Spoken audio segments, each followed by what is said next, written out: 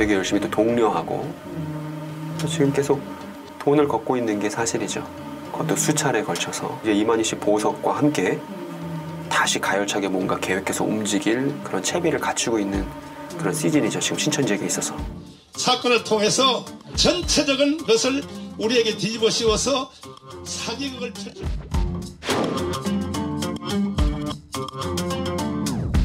너무나 좀 일반 교회가 아니고 너무 폭력적이고 협박 문자를 조합원들한테 보내고 이런 모습을 보면서 정말 공존할 수 있는지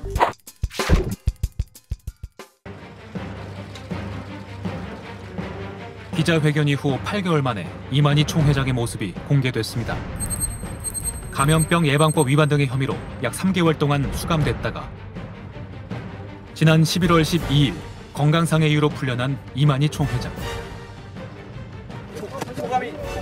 신도들이 취재진을 몸으로 막습니다.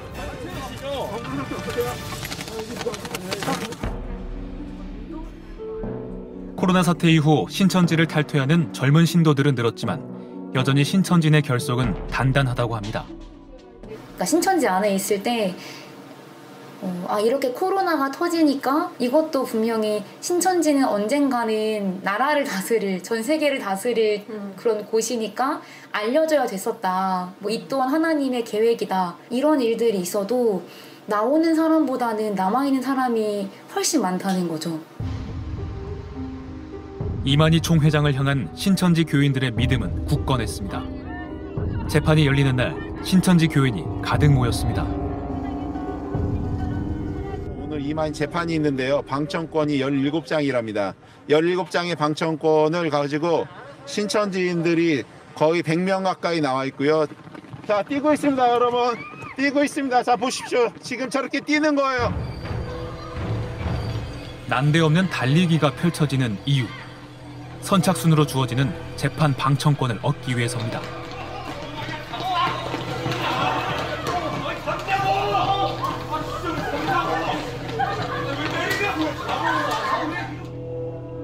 사방에서 달려온 신천지 교인들과 피해자 가족들이 뒤엉켜 한바탕 소란이 벌어졌습니다.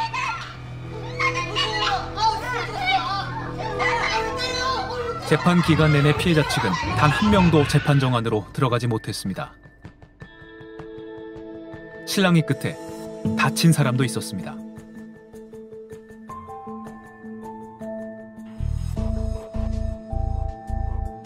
보석 이후 이만희 총회장의 모습을 찾기란 어려웠습니다. 그가 주로 거주하던 평화의 궁전 역시 인기척이 없습니다. 하지만 보이지 않는 곳에서 조용히 움직였습니다. 신천지 교인들에게 공지가 전달된 것입니다. 우리는 뭉쳐야 하고 하나가 되어야 한다. 이만희 총회장의 메시지였습니다. 신천지 측은 소송 비용 후원을 요청했습니다. 회당 49만 원 이하라는 구체적인 액수도 제시했습니다. 되게 열심히 또 독려하고 지금 계속 돈을 걷고 있는 게 사실이죠. 그것도 수차례 걸쳐서 이제 이만희 씨 보석과 함께 다시 가열차게 뭔가 계획해서 움직일 그런 채비를 갖추고 있는 그런 시즌이죠. 지금 신천지에게 있어서. 신천지 측은 코로나 확산 이후 비대면으로 전환, 전도와 교육 활동을 온라인으로 옮겨 이어가고 있습니다. 모든 신도 대상으로 시험을 치르기도 했습니다. 신천지가 제일 그 내부 단속으로 제일 간편하고 빨리 손쉽게 할 수 있는 게 시험 보는 거예요.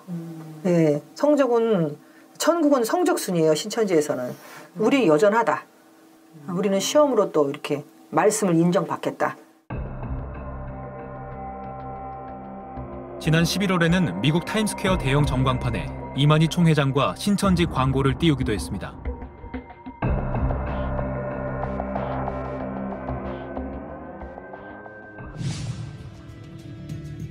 신천지 인터넷 방송을 통해 코로나 사태의 피해자는 신천지라고 주장합니다. 더 이상의 신도 탈퇴를 막고 이만희 총회장을 중심으로 내부 결속을 다지는 모양새입니다.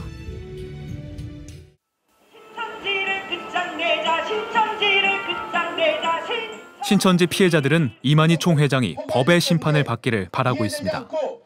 다른 구치소에는 재소자 가출 이혼 조장하는 종교 사기꾼 이만희는 감방으로 돌아가라! 감방으로 돌아가라! 신천지 교인들도 그 반대편에서 피해 가족들을 주시하고 있습니다. 촬영 중인 취재진에게도 반감을 드러냈습니다. 왜 그러시는데요? 저희가 그거 얘기하는 게 불쾌하고 아니 인터뷰 하고 싶으시면 연락 주세요. 아니 저 지금 넘어가시라고. 입장 말씀해 주시고 싶으면 말씀해 주시고. MBC가 어디 가면은 한쪽 얘기만 듣고 저쪽을 내요.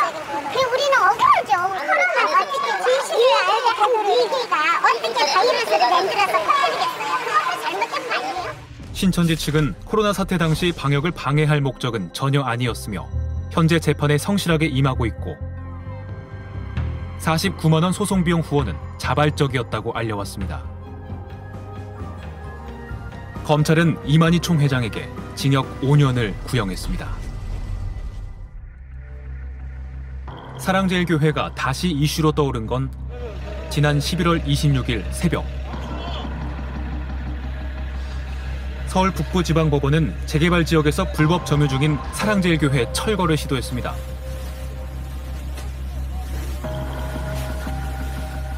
현장에서는 화염병까지 등장했습니다.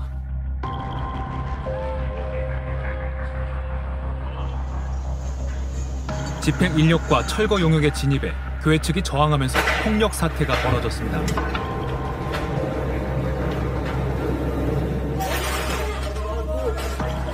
이 와중에 교회 안으로 들어간 법원 측 용역 직원 한 명이 크게 다쳤습니다. 한 사람을 다수의 교인이 집단으로 폭행했기 때문입니다. 쇠파이프로 한참을 때리자 용역이 끝내 기절했습니다.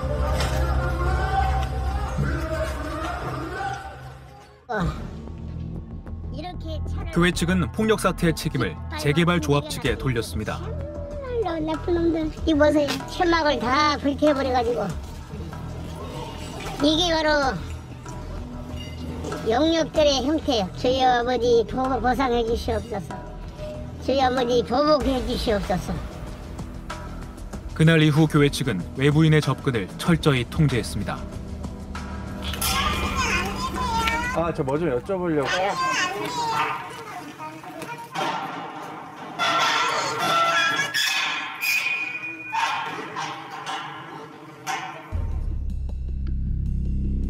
사랑제일교회가 있는 장위동 19역은 재개발을 앞두고 있습니다. 교회 측은 지난 5월 명도 소송에서 패소한 이후부터 현재까지 땅과 건물을 불법으로 점유하고 있습니다. 교회 측과 재개발 조합 사이에 보상금 합의가 이뤄지지 않았습니다. 그 이유가 무엇인지 조합 측에 물었습니다.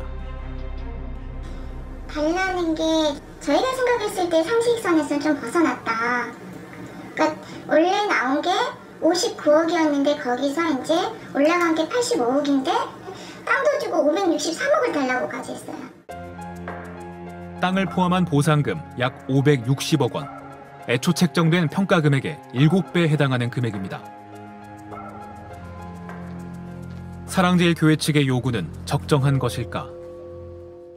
지금은 좀 땅값이 시축을 많이 하나 봐서 모르긴 했는데 뭐 맥시멈으로 2천 정도 치더라도 2칠에 14, 140억이잖아요. 주장하시는 게 최고 500억. 말도 안 되는 거지. 어, 치고 700평 정도면 빌리시고 대갑비 이러면 그거 하나 때문에 사업 진행을 못하니까 저 꺾이고 있는 거고 그렇죠. 지금 저기가 동네 주민들한테 피해도 말도 못하게 주고 있고 하나님을 믿는 그런 사람들이 욕심을 부려도 수없이 많이 부리고 있으니까 의원 께서 저에게 보여줬습니다. 그 사건은 전광훈 목사는 재개발 보상금을 놓고 시작된 조합과의 갈등을 자신과 교회를 해치려는 음모라고 주장합니다.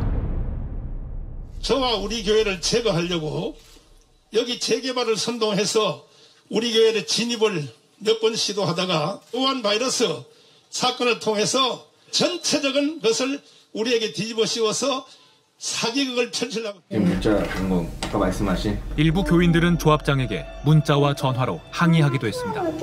계속적으로 왔었고 그들이 보낸 내용은 협박에 가까웠습니다.